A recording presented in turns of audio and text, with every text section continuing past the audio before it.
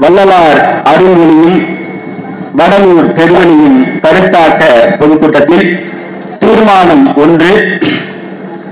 தமிழ்நாடு அரசு வள்ளலார் பன்னாட்டு ஆய்வு மையத்தை சத்திய ஞான பெருவழியில் அமைக்க கூடாது. வேறு இடத்தில் அமைக்க வேண்டும். பெருவெளியில் தொடங்கப்பட்டுள்ள பன்னாட்டு ஆய்வு மைய வேலைகளை உடனே நிறுத்த வேண்டும். எத்துணையும் வேதமுறாது எல்லா உயிர்களையும் தம் உயிர் போல் எண்ணி பத்தொன்பதாம் நூற்றாண்டில் சமரச சுத்த சன்மார்க்க சங்கத்தை நிறுவியவர் பேர் அருளாளர் வள்ளலார் என்று அழைக்கப்படும் ராமலிங்க அடிகளார். திரு அருள் பிரகாச வள்ளலாரின் இருநூறாவது வருவிக்க உற்ற நாள் முன் எப்போதும் இல்லாத அளவிற்கு உலகமெங்கும் மிக சிறப்பாக கொண்டாடப்பட்டுள்ளது. வள்ளலார் இருநூறு ஆண்டை ஒட்டி தமிழ்நாடு அரசு நூறு கோடி மதிப்பில் வள்ளலார் பன்னாட்டு மையத்தை அமைப்பது என்ற அறிவிப்பை வள்ளலார் பணியகம் பாராட்டுகிறது வரவேற்கிறது. அதே நேரம் வள்ளலார் பன்னாட்டு மையம் வடலூர் பெருவெளியில் எழுபது ஏக்கர் பரப்பளவில் அமைய உள்ளது என்பது ஏல அறிவிக்கை இ ஜீரோ ஒன்னு ரெண்டாயிரத்தி இருபத்தி மூன்று பதினேழு பதினொன்னு ரெண்டாயிரத்தி இருபத்தி மூணு அன்று வெளியிடப்பட்ட ஒப்பந்த அறிவிப்பின் மூலம்தான் தெரிய வந்தது. இந்த அறிவிப்பு சன்மார்க்க அன்பர்களை அதிர்ச்சி அடைய செய்தது. அருப்பெருவெளியில் பன்னாட்டு மையத்தை அமைவது சுத்த சன்மார்க்க மையலுக்கு எதிரானது.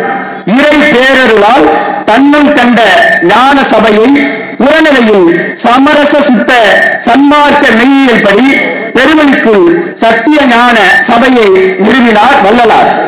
வெளி ஒளி அழி இந்த மூன்றும் சன்மார்க்க மெய்யலின் இன்றியமையாத கூறுகளாகும்.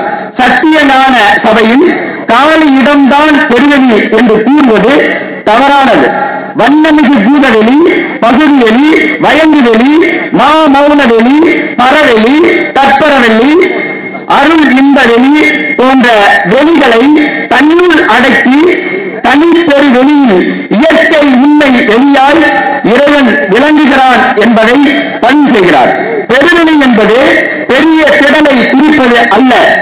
பல்வேறு வெளிகளை அதாவது ஸ்பேஸ் உள்ளடக்கியதை உள்ளடக்கி இருப்பதனால் அதை பெருவெளி என்றால் வள்ளலார். இது பற்றி திருவருட்பா ஆறாம் திருமுறையில் பதிவிலக்கம் அருள் விளக்க மாலை அருட்பெரும் ஜோதி அகவல் உத்தரஞான சிதம்பர மாலை இறை திருக்காட்சி நெஞ்சோடு நேர்தல் உபதேச குறிப்புகள் உரைநட பகுதி அறிவிப்புகள் உள்ளிட்ட பல பகுதியில் வள்ளல் பெருமானார் தெளிவாக குறிப்பிடுகிறார். பல்வேறு வெளிகளை கடந்து ஒளி வடிவாக இறைவன் அருள்பாலிக்கிறான் அவனை மனித உடல் எடுத்த நாம் எப்படி அடைய வேண்டும் என்பதில் அண்ட பிண்ட விளக்கம்தான் சத்திய ஞான சபையின் பெருவெளியில் தமிழர் மரபில் இறை இறை கொள்கை எல்லாம் அண்டம் பிண்டம் தத்துவத்தையே முன்மொழிகின்றன.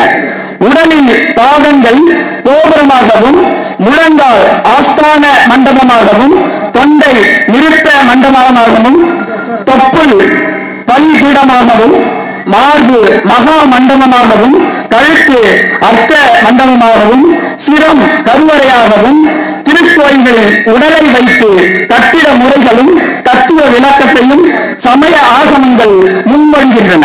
அதை போல் சன்மார்க்க மெய்யின்படி சத்தியமான சபை என்பது தலைப்பகுதியையும் பெருமணி என்பது உடலையும் குறிக்கும். எனவே பெருமணி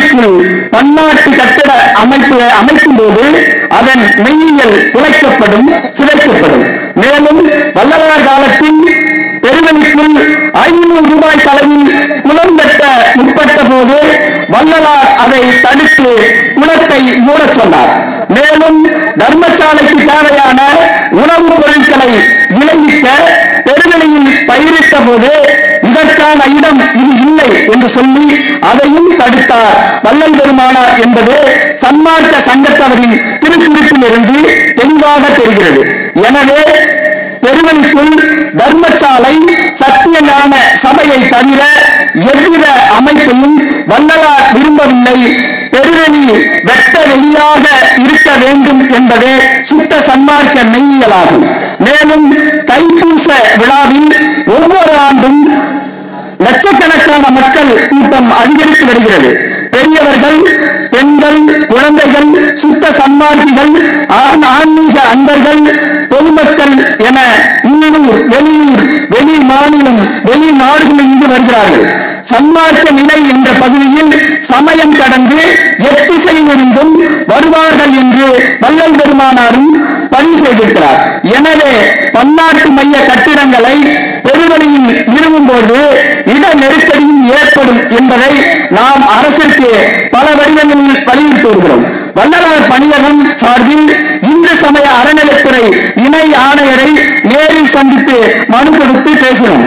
சென்னை செய்தியாளர்கள் சந்திப்பில் வைத்து பொது அறிவிப்பு மூலம் விளக்கினோம் ஒவ்வொரு சித்த சன்மார்க்க சங்கத்திலும் தீர்மானம் நிறைவேற்றியும் பொதுமக்களிடம் கையெழுத்து இயக்கம் நடத்தியும் தமிழ்நாடு முதலமைச்சருக்கு அஞ்சல் வழியாகவும் மின்னஞ்சல் மூலமாகவும் அனுப்பினோம்.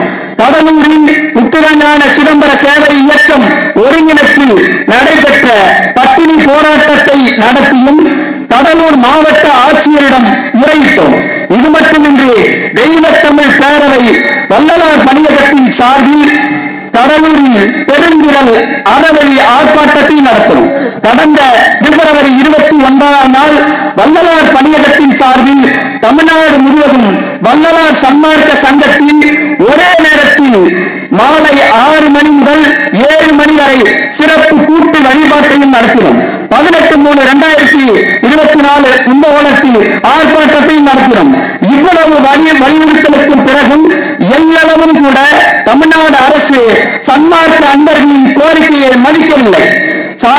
சன்மார்க்க சாதுக்கள் நெறியாளர்கள் அன்பர்கள் வடலூர் பார்வதிபுரம் மக்கள் மற்றும் அரசியல் கட்சி தலைவர்கள் உள்ளிட்டோரின் எதிர்ப்புகளை மீறி பதினேழு ரெண்டு இரண்டாயிரத்தி இருபத்தி நான்கு அன்றும்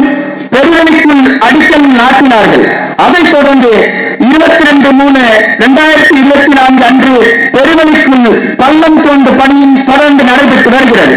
எனவே பெருவெளி பெருவழி என்பது சுத்த சன்மார்க்க மெய்யலின் இன்றியமையாத குறியீடு. அதில் பன்னாட்டு மைய கட்டிடங்களை அமைக்க கூடாது ஒரு இடத்தில் அமைக்க வேண்டும் என்று இந்த கருத்தாக்க பொதுக்கூட்டத்தின் வாயிலாக வள்ளலார் பணியகம் தமிழ்நாடு அரசை கேட்டுக்கொள்கிறது. மீறி பெருவழிக்குள் பன்னாட்டு மைய தொடரும் பணிகள் பன்னாட்டு மைய பணிகள் தொடரும் பட்சத்தில் இருபத்தி ஒன்பது நான்கு இரண்டாயிரத்தி இருபத்தி நான்கு அன்று வடலூரில் மாபெரும் ஒன்றுகூடலை நடத்தி அடுத்த கட்டத்தை வல்லலா பணியகம் முன்னெடுக்கும் என்பதை தமிழ்நாடு அரசுக்கு தெரிவித்துக் கொள்கிறோம். டிஎன்டிவி தமிழ் ஊடகம் தனித்துவமான தமிழ் ஊடகம்.